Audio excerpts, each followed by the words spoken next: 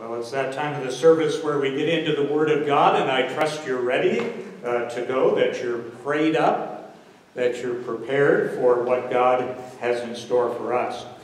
And uh, each week uh, we send out uh, the video, and uh, people get to be at home, those who aren't yet ready to come out to church. And so we welcome you by video today. To all of you that we cannot see face to face, we miss you, and we are grateful that you are watching by video. We thank God for the technology that enables us to do it. People like Kyle and Gayle and others who are involved in uh, making this happen, we are grateful for that. We are continuing our series, A Portrait of a Healthy Church, trying to get a big picture of what a healthy church looks like.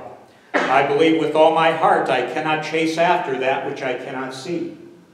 So if I can't see it, if I can't imagine it, if I can't get that picture in my mind's eye of what a healthy church looks like, I'm not going to invest in chasing after it. And so this series, I believe, is so important to us here at Shroyer Road as we seek to go to the next level of church health.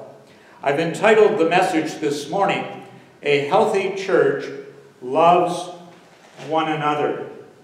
And even as we uh, came in uh, to church early this morning, uh, so many uh, came up and just welcomed my family here. And I, I have sensed from the very beginning uh, that Shroyer Road has a real strength in this regard.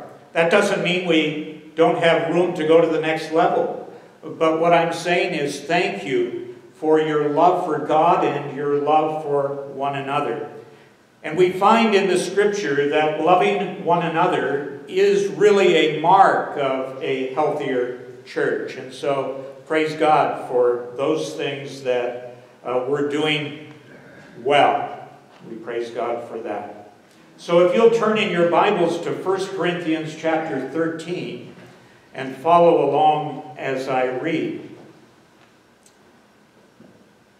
Do you believe that the people that reside next door to you, uh, work next to you at the workplace, go to school with you, and live in this secular world fully understand Christian love? It's been my experience that there's lots of definitions of love and a lot of misunderstanding about love.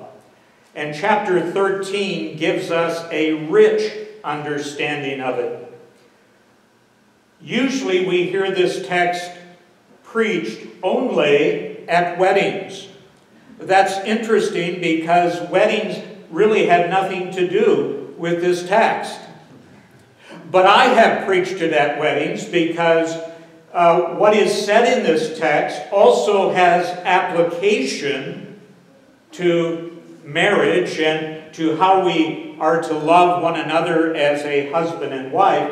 But that's not the context at all. In fact, the context is it's tucked between chapter 12 and chapter 14, which is dealing with spiritual gifts and is largely dealing with the gift of speaking in tongues and is addressing the problem of speaking in tongues in the Corinthian church. You see, the Corinthian church had lots of problems. Uh, they were worshiping in ways that were bizarre and in ways that really dishonored God rather than honored Him. And so, tucked between these two chapters on spiritual gifts and the abuse of them is this beautiful love chapter where God is challenging his people to seek love. Let me begin in the verse right before chapter 13. And now I will show you the most excellent way. If I speak in the tongues of men and of angels, but have not love, I am only a resounding gong or a clanging cymbal. If I have the gift of prophecy and can fathom all mysteries and all knowledge, and if I have faith that can move mountains, but have not love, I am nothing. if I give all I possess to the poor, and I surrender my body to the flames, but have not love, I gain nothing. Love is patient. Love is kind. It does not envy. It does not boast. It is not proud. It is not rude. It is not self seeking. It is not easily angered. It keeps no record of wrongs. Love does not delight in evil, but rejoices with the truth. It always protects, always trusts, always hopes, always perseveres. Love never fails, but where there are prophecies, they will cease. Where there are tongues, they will be stilled. Where there is knowledge, it will pass away. For we know in part and we prophesy in part. But when perfection comes, the imperfect disappears. When I was a child, I thought like a child, I reasoned like a child. When I became a man, I put childish ways behind. And now we see but a poor reflection. As in a mirror, we shall see face to face. Now I know in part, then I shall know fully, even as I am fully known. And now these three remain faith, hope, and love. But the greatest of these is love. Let's ask God to bless the preaching of His Word. Father, we pray that as we open your Word today, that your Spirit will take it and as Greg said, that this word will be alive in us and able to penetrate and change us from the inside out. That I pray in the name of Jesus. Amen. John 13 35 says it better than anyone. The words of Jesus, by this all men will know that you are my disciples if you love one another. How will the world know that we who call ourselves Christians are indeed saved, transformed, and different from anything else they see?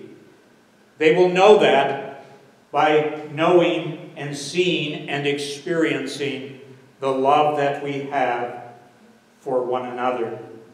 I have to confess that I have been deeply disappointed as I've seen my brothers and sisters on Facebook um, at odds with one another, uh, adopting a critical spirit. And really, uh, I, I, have to confess that I believe uh, the church in America today is more deeply divided than I have ever seen it in my lifetime. And we can blame the pandemic, but the pandemic only reveals the heart.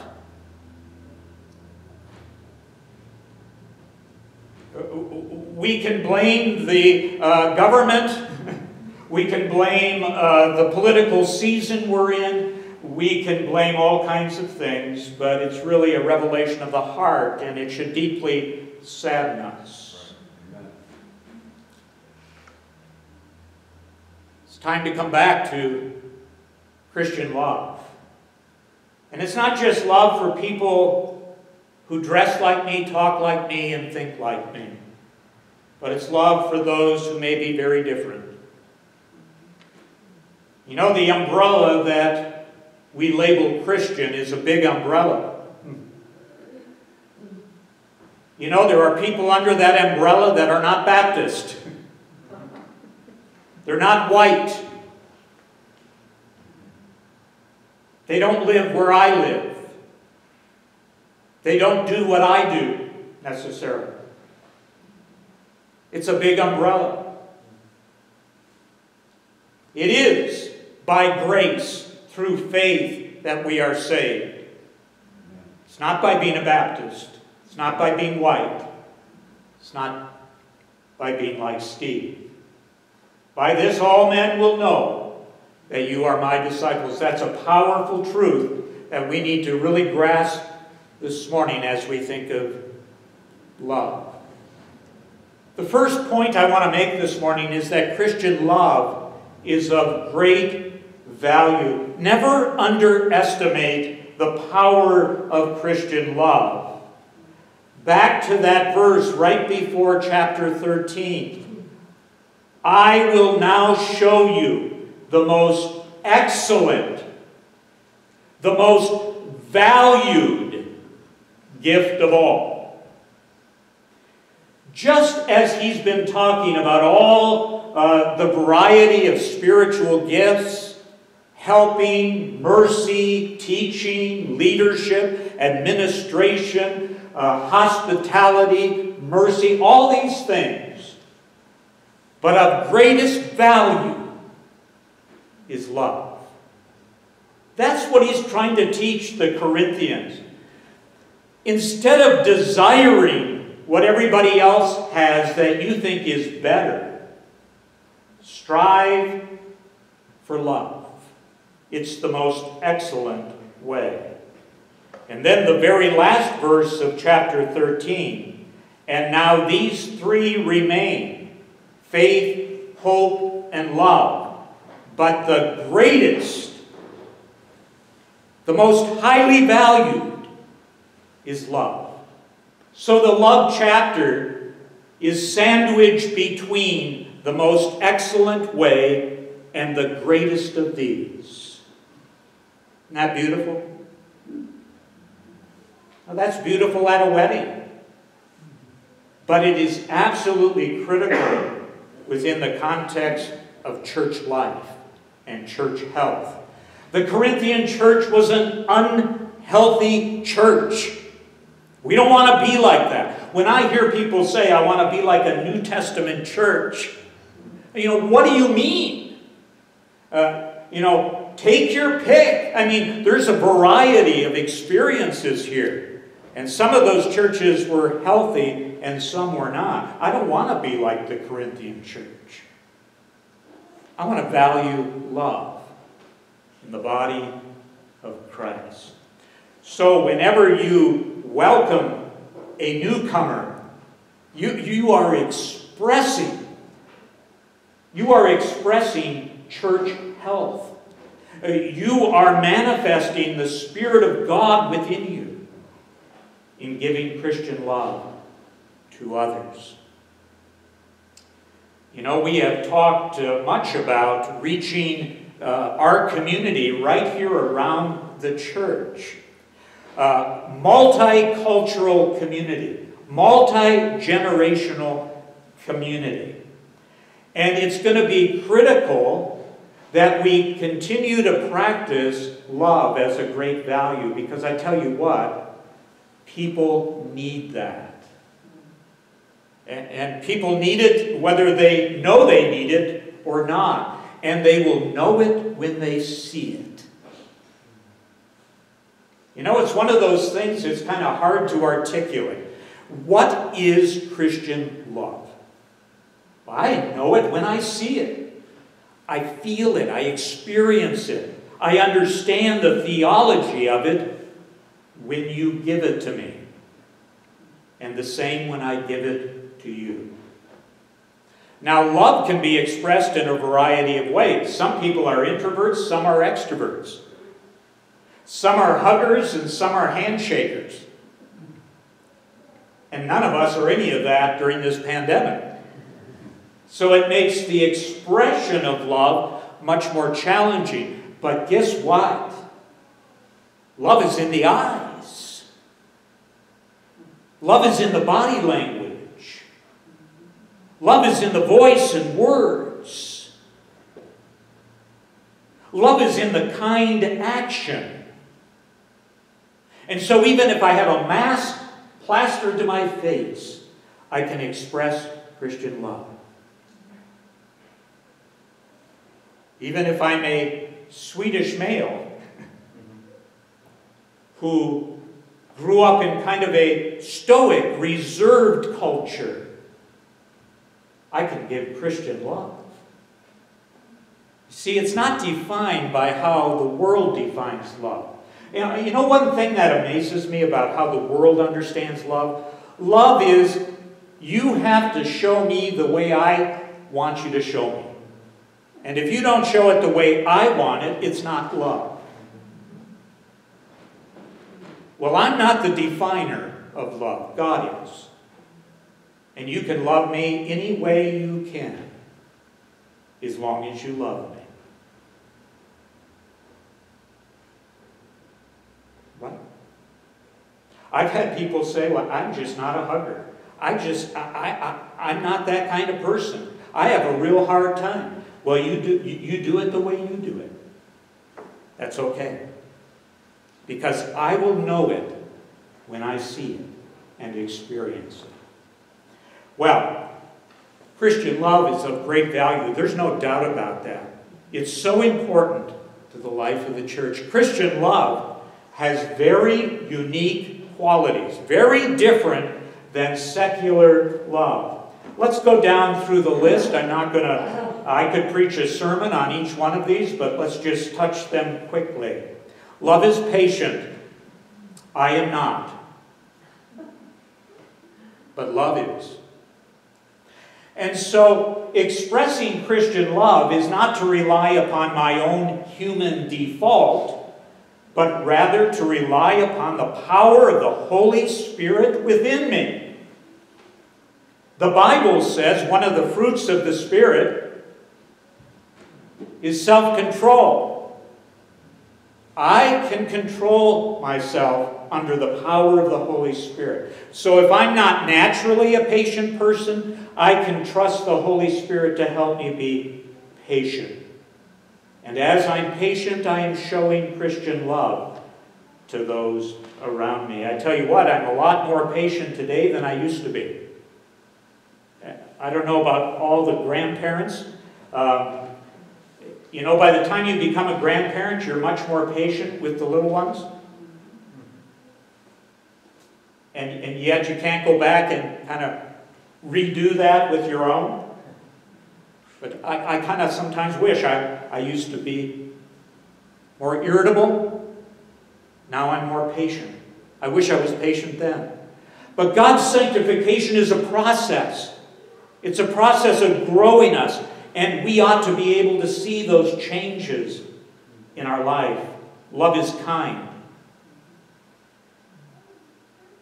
My son Steve uh, uh, used to say when he would hear trouble between people, whether it was in the church, whether it was in the government or whatever, he would say, Why can't people just be kind? And, and you know, it sounds like an oversimplification, but that's great theology. Really. Why can't we be kinder to one another? If I have the Holy Spirit within me, I can show love to you by being kind to you. It does not envy. It does not boast. It is not proud. It is not rude. You know, now people can, in the privacy of their own home, without ever sharing their own words, they can just post a meme and be absolutely rude. They can tell you what they think of a politician, a school teacher, a friend, an uncle, simply by posting a rude meme. Don't you sometimes just want people to have enough courage to look you in the eye. Don't hide behind a computer screen. If you really believe that, if you think that, then let's have a conversation because I don't want to be like that. Love is not self seeking. We live in a selfish world. If you look at 2 Timothy chapter 3, the first five verses are a description of what it's going to be like in these last days, in the terrible times right before Christ returns. And those descriptions in chapter 3 are summarized with this word self centeredness. The world is going to become increasingly focused on me as we get closer to the coming of Christ. We as Christians ought to have the quality of love for one another.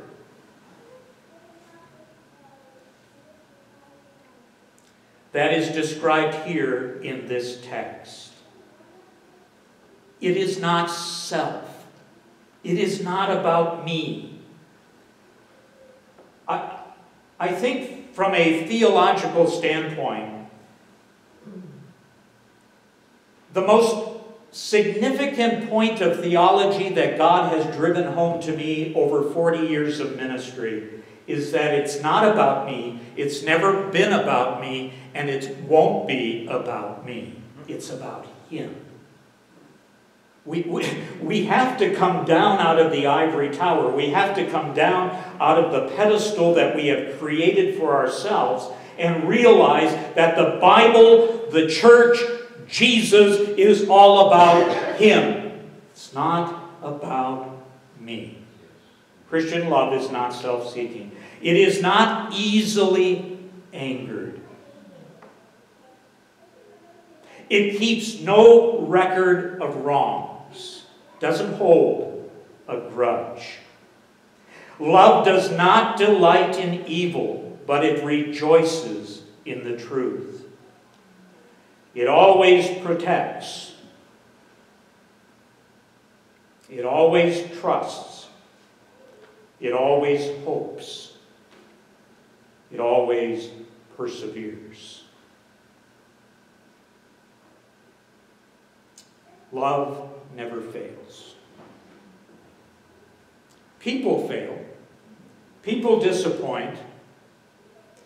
But we saw the love of God expressed in Jesus coming to earth, dying on a cross, rising from the dead, standing as an intercessor on our behalf because he loves us. And that was true yesterday, it's true today, and it will always be true. It will never fail. Other things will fail. But this kind of love never fails. Well, those are unique qualities. Are they at play in your life? Do others around you see those things in you? Thirdly, Christian love is a necessity. There are many things in life that are luxuries. Christian love is a necessity. You need it. And we go back to that verse where Jesus spoke in John 13, By this all men will know. Without this they will not know. This is a necessity. You can have beautiful buildings. You can have wonderful people. You can have great music. You can have preaching and all the rest. But if you don't have Christian love, the world won't know that there's a Christ who lives in you. Your love for others is a manifestation of the reality of God within you.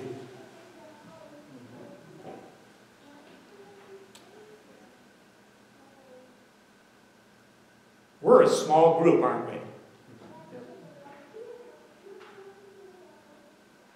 And yet, in this small group, the world can know that there are disciples of Jesus Christ.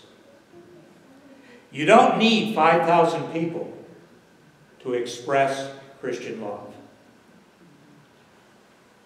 Where two or three are gathered, these qualities can rise to the surface and the neighbors can understand that in this place there is something genuine.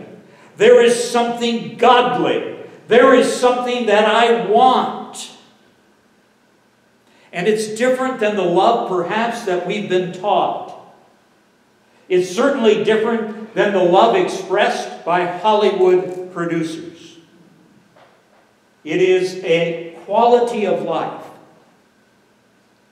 that makes all the difference in the world. I want you to turn in your Bibles, if you have them, to Matthew chapter 22. Over the last number of weeks, I've talked about the great mission of the church to go and make disciples. Here is the great commandment of the church. Matthew 22, starting in verse 36. Teacher, which is the greatest commandment in the law? Jesus replied, Love the Lord your God with all your heart, with all your soul, and with all your mind. This is the first, and it is the greatest commandment. And the second is like it love your neighbor as yourself. And so we have the great mission of the church to make disciples, intersecting with the great commandment of the church to love one another, to love God, to love others outside the church. And when those two great commandments and missions intersect, we have a healthy church.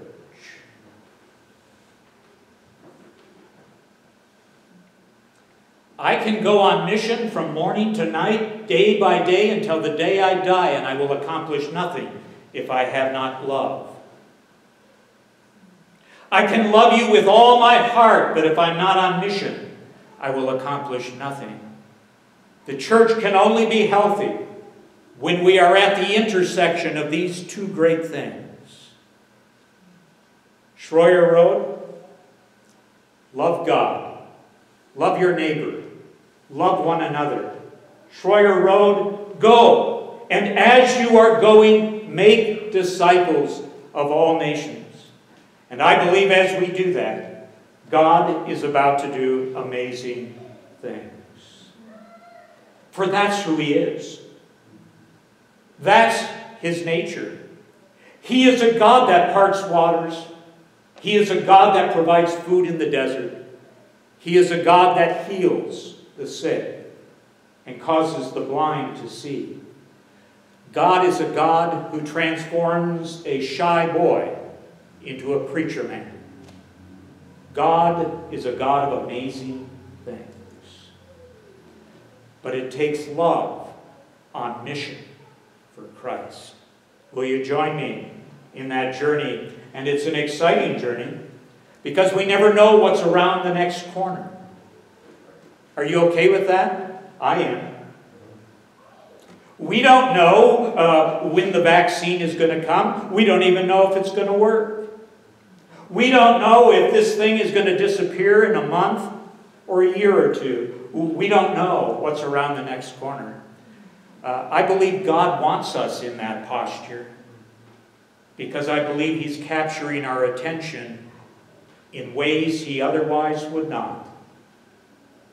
I believe maybe some are listening who haven't listened before.